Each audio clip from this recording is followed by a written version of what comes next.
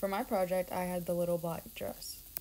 So imagine you are in the early 1900s looking through your closet to get your own black dress. Instantly, you feel guilty for loving it so much because the dress is reserved for your worst days. The day your grandmother passed, the days following a terrible loss in the nation's military, or even the day you buried the love of your life. Today is an average day. You wouldn't dare put it on. But that doesn't mean you can't admire it. The history of the color black. The color black signified mourning and was rarely worn before the 1920s. For women in the 19th century, Coco Chanel revolutionized fashion with her creation of the little black dress. Chanel's dress, as seen here, was on the cover of Vogue in October of 1926.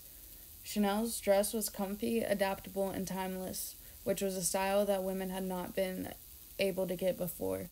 Before this dress, women had to wear clothing that was very voluminous um, and had a lot of layers to it.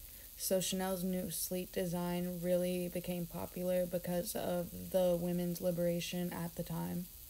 Originally, to make the dress, she used resources from the following jersey, chiffon, lace, tulle, wool, crepe, satin, velvet for night, polychrome sequin embellishments, or variety of weightless silks.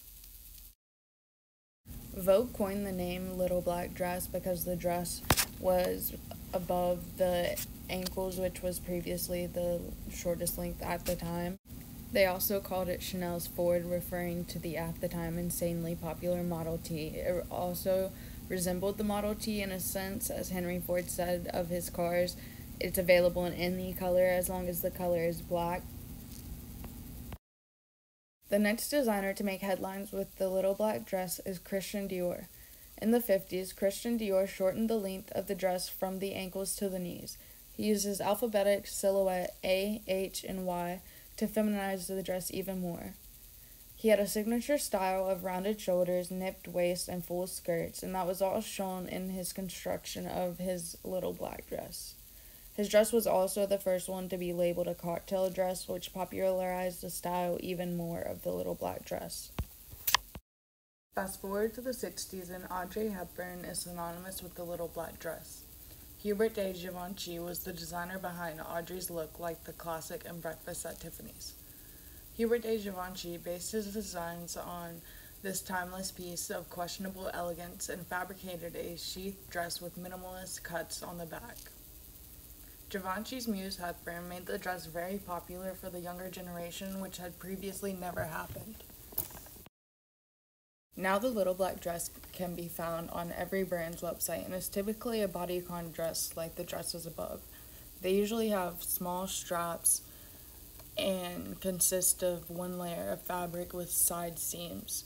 Most of them don't have zippers or any appliques.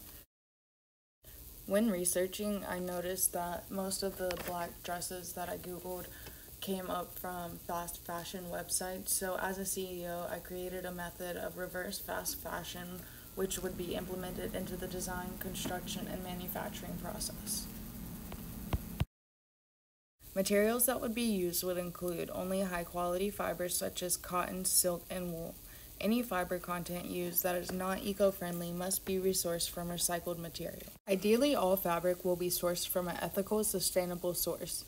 My corporation would also acquire fabric from old garments before they are thrown away and reworking them into new ones that are in style so any old little black dress can become a new one with embellishments, trims, and other add ons.